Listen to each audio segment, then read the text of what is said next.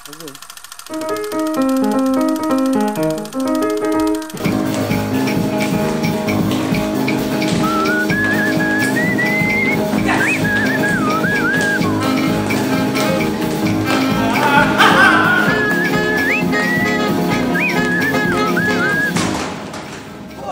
long have they been dancing? Over two hours.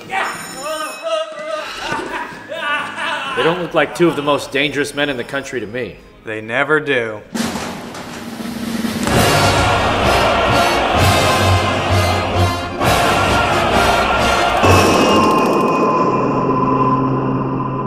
You like Ike, I like Ike, everybody likes Ike. For president. Hang out the banner, beat the drum, we'll take Ike to Washington. Now is the time for all good Americans to come to the aid of their country. If you're looking to televise the average American working life, you're documenting the wrong occupation. My brother Doug and I are private investigators. Just like our father before us, we wear hats, we wear coats, we wear pants, we look good, we look sharp, we are on the streets, we are prowling the nights, we are prowling the days. We haven't solved any cases yet, but we haven't received any cases. So, if you look at it that way, we've technically solved 100% of the cases we've received. I've been selling men's handbags on the side to make a little extra income for rent and to pay off all the handbags that I bought. They're not selling well. I told you I didn't want any of your handbags. Get out of Well, here. they're not for you. They're for your husband or your son. So, she wouldn't be able to pull off the look anyway. Her ensemble's all wrong. Uh, working with my brother Clark is interesting. He's looser with the rules, and he tends to be more interested in fashion than actual nitty gritty work. This first case is going to be very big, very important to us. I can tell you that for certain. Unless Clark mucks it all up. I'm a good investigator. Doug is very heavy footed, so sneaking can be hard for him, both emotionally and physically. If I had to choose some negative thing to say about my brother Clark, I mean, I guess it would probably be his total inability to pick up on even the most obvious clues. A, good, a good PI always knows where to look. And he has dandruff. A good PI never knows where to look. The clues find him. And you know what? I have shampoo for that now. It's more expensive and it burns a little, but I have it and I use it. And you know what? I'm not heavy footed. I have an ankle condition. And he hasn't had a date in two years, so. I do, I do my job. I'm more interested in that. Please. Go, go, go, go, go, go, go, go! Get out of the way, get out of the way! Right through here! Secret shortcut! Secret shortcut! It's not a secret, everyone knows about it. It's always crowded. Oh, I'm going to the right. You're gonna be wrong.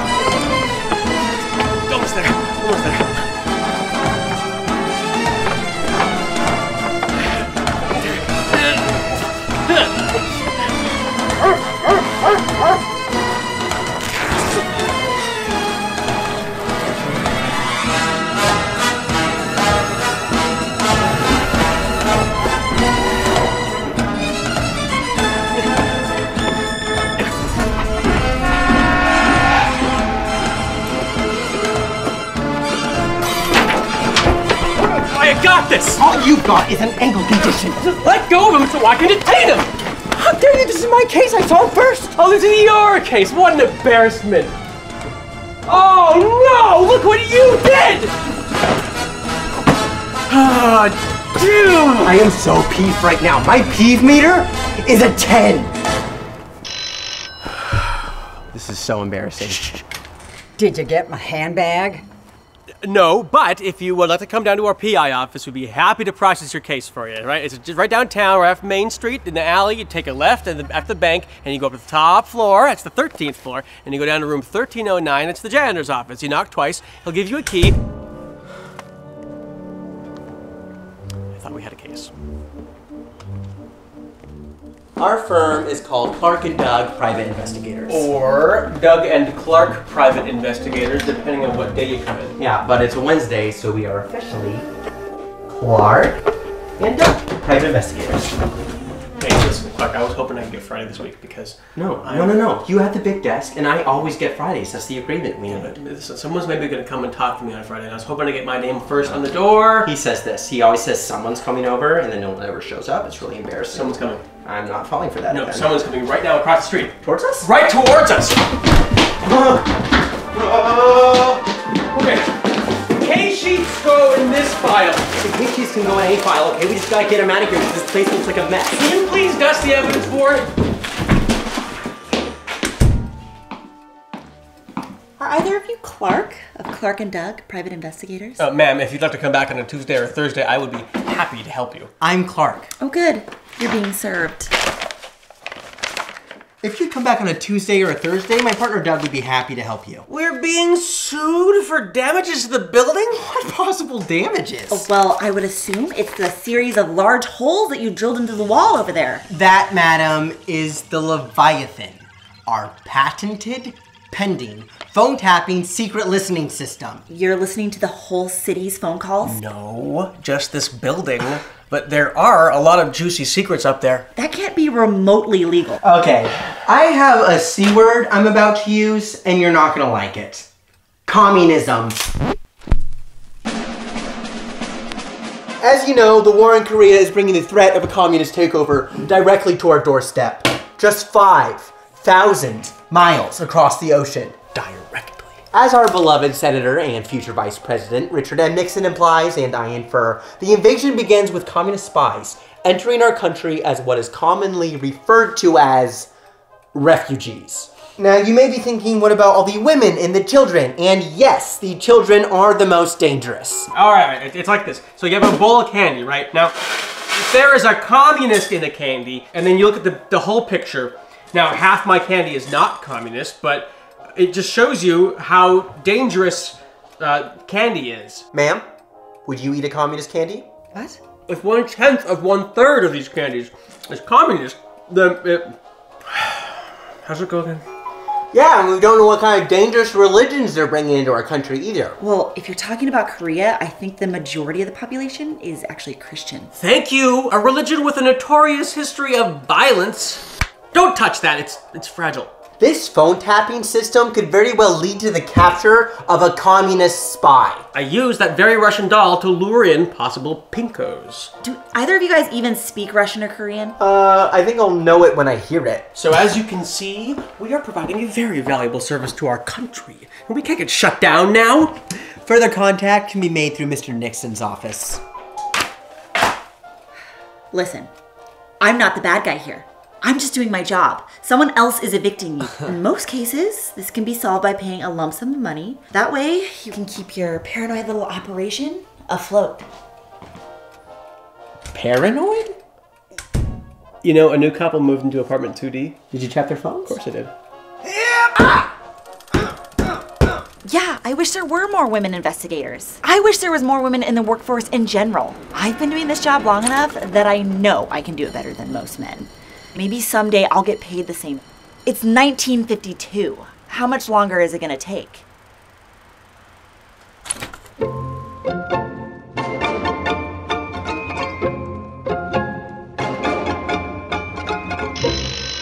That must be the steaks. We eat steaks for dinner seven nights a week. It's a tradition our father started back in 1925, and Clark and I do the same because it's tradition. And tradition means you never change your mind. Right? Uh, Mr. Lake's Mistake Steaks is our go-to place for steaks. Mistake steaks are steaks that, you know, didn't pass inspection, so they can't be sold in grocery stores legally. But uh, the prices kill, and uh, so so do the so do the steaks if you don't cook them well enough. But we're careful.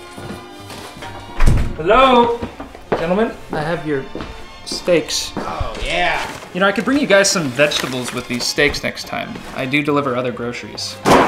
Thanks, Bobby, but we like to stick to tradition around here. I mean, I got onions, I got some celery. Clark, you want a carrot? Oh, well, actually, No!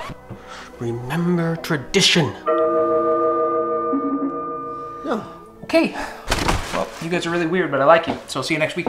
If you want a vegetable so bad, Clark, eat it on your own time, okay? Oh, wait, Bobby, Bobby, uh, take a flyer. Huh? Huh? I'm sure Ike and Dick can count on your vote. Well, You're not voting for Nixon? I mean, no, it's my first year voting, and What? Damn it, Bobby. It's patriotical to vote. this is the first year that the government has let us Asians not born in the U.S. become citizens, let alone vote. What? But voting is every American's right, given to us by God, and then subsequently re-given to us by the government. Clark, fetch me my Constitution. I'll get to the bottom of this. So you weren't born in the U.S.? No, I moved to California when I was three with my parents. And then where? Portland, Oh, then where? an internment camp. Oh, for like the summer. A little bit longer than summer. Clark, can you hand me my Bible? I need to cross-reference something, please. You know, I learned how to whistle at my summer internment camp. Uh huh. Yeah. You know, there's a lot you guys could learn if you step out of your basement every once in a while. I'm just throwing that out there. Look, all I'm saying is American democracy is often pretty selective with who it gives a voice to. Okay, well, uh, make sure to cook those steaks well. Do you think there are other issues with our democracy that we don't know about? I don't remember hearing about voting rights in any of Nixon's speeches. Well, it's our job as canvassers to find out what the American people need and then convince them that Ike and Dick can give it to them. Right. Do you think Bobby's Korean? No, he's American.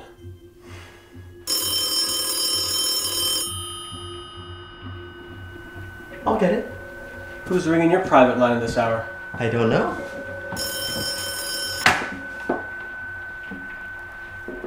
Hello?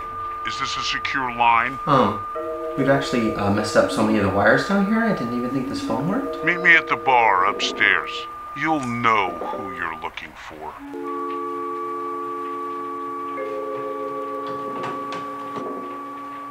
Who was that? It was a wrong number. Unrelated. I think I'm gonna pop outside for a quick smoke. I'll join you. Well, I only have one. We'll share.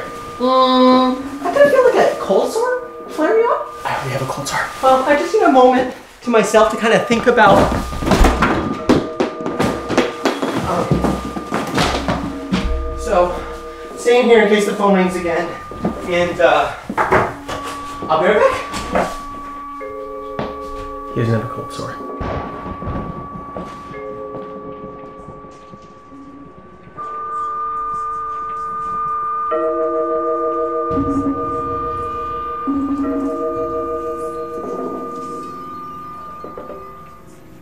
Um, I'm looking for a man who. Are you Clark? I am. I, I called you specifically because your name was first on the sign. I have a case you might be interested in. I manage a seafood warehouse down on the pier. Something, or should I say someone, has gone missing. Given the ominous times we live in, I think it's important I find this item and bring the culprit to justice. That is, unless your skin is too pinko. Pinko? I'm not a communist. Are you a communist? I'm not a communist. Are you a I'm communist? not. Are you? Heck no, are you? Would a communist get a tattoo like this? Design it myself. All 48 stars. Never gonna change. Why don't you come down to Pier 39 tomorrow? I'll explain everything then. Wait, how did you get my number? A lady detective I know recommended you. Lady detective?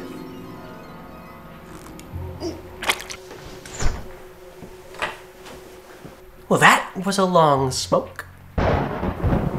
Hello. You didn't eat your steak. I waited for you, brother. Ah. Okay. Looks yum, huh?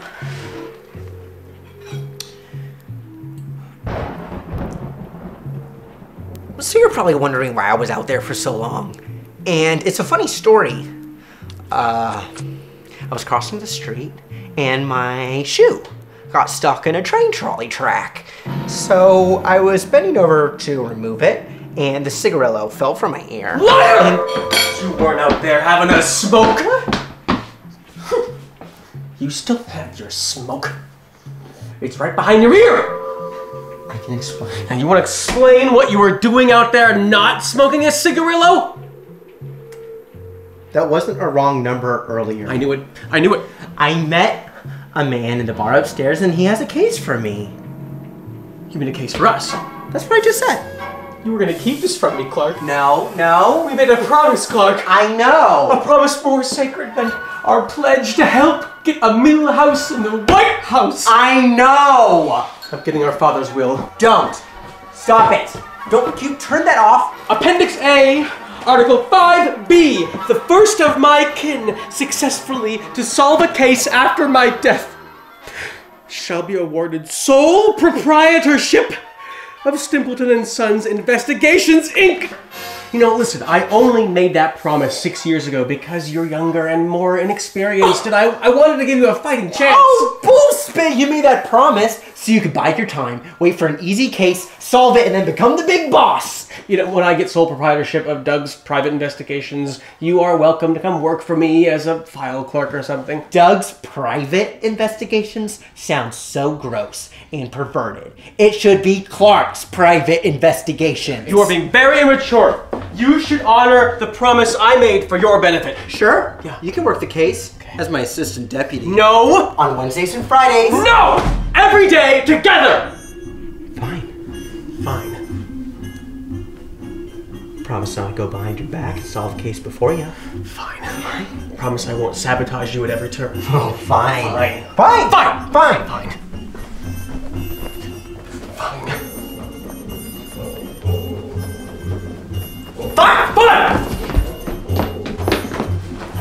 Guess I'll see you tomorrow for our first official case meeting. Fine. Fine. I hope you have a good night. Oh, I will. Fine. Fine.